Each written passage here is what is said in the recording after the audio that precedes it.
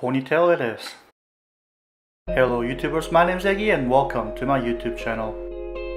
This is This is a Madoka Yuki Dreaming style fresh berry from Kotobukiya and on today's video I'm going to build this. Now Kotobukiya makes a lot of Mecha Musume kits of different lines. Some are good and some are bad. This is their latest brand called Sousai Shoujo Teien and unlike Frame Arms girls kits, they are simple high school girls. And having built this, I can definitely tell that Kotobukiya knows how to please us weebs. Inside the box there were several high quality plastics that are simple with a well sculpted shape. Just looking at these runners you can tell that this is going to be a simple build.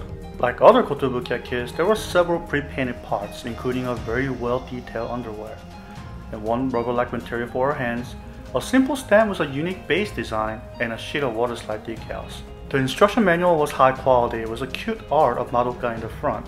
There were several pictures inside with the customization options and neat coloring section in the back that can help out people who are painting this kit. Building this kit was easy. Instruction was well laid out and parts came out of sprue easily and they were easy to clean. There were a lot of flesh marks that needed to be cleaned, but due to the high quality plastic, that was easy. There were some parts such as her hands that were a bit tedious to build, but all parts fit properly without any issues and within few hours, I was able to finish this without any issues.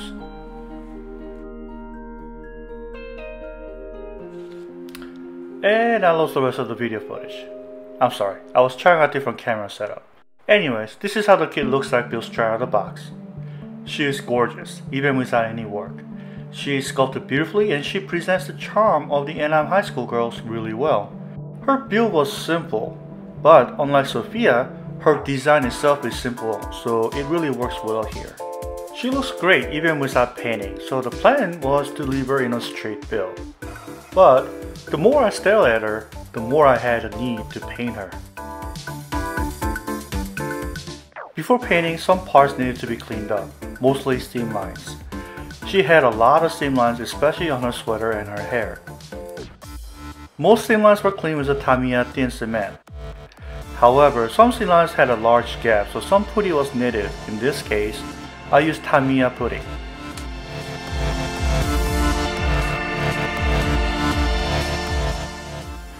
Once everything was done, I cleaned each part with a soapy water to prepare for painting.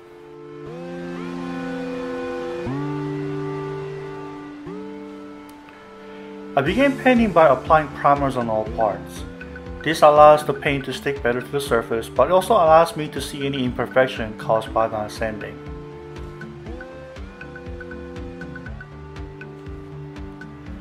For painting, I began by painting dark shade as a base color and applied lighter shade as a highlight. On some places, I applied either darker or lighter shade to get more natural looking shading done on her. I did this to her clothing and to her skin tone and it came out great.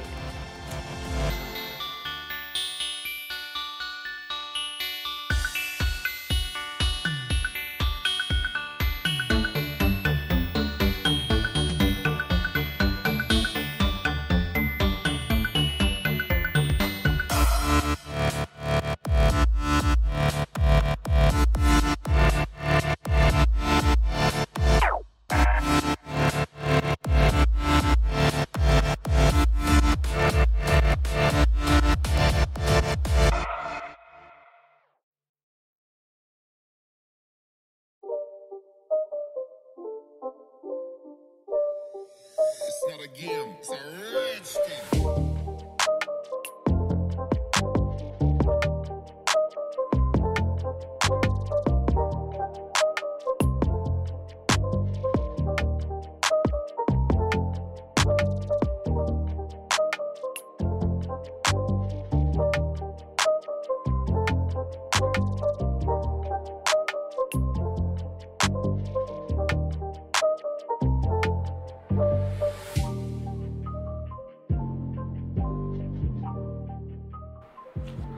Once all painting was done, I sealed it using a varnish.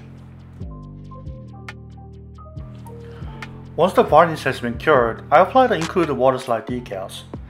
Kotobukiya was thoughtful and has included lines that are on the color as a water slide decal. Otherwise, I would have to painfully mask the lines and paint them. It was however a bit hard to align, still, I am grateful that Kotobukiya has added this. I also did some pastel shading on her clothing that has smaller creases such as her underwear. This allows me to do the subtle shading that are hard to do with airbrush alone. For some small details such as her hairpin and a cell phone screen, I use acrylic paint and hand painted them with a brush.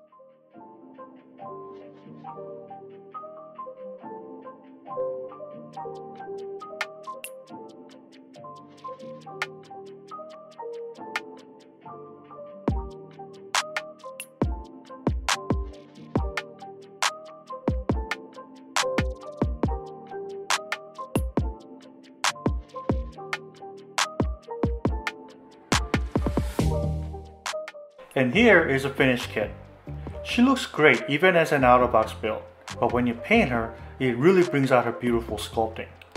She isn't anything special, she's a simple high school girl presented in anime. But somehow Kotobuki has made this kit a joy to build. Her simple build process works well here. It does limit her articulation, but it is not as bad as a Sophia, and with a separate sitting pose leg set, she can pull some poses.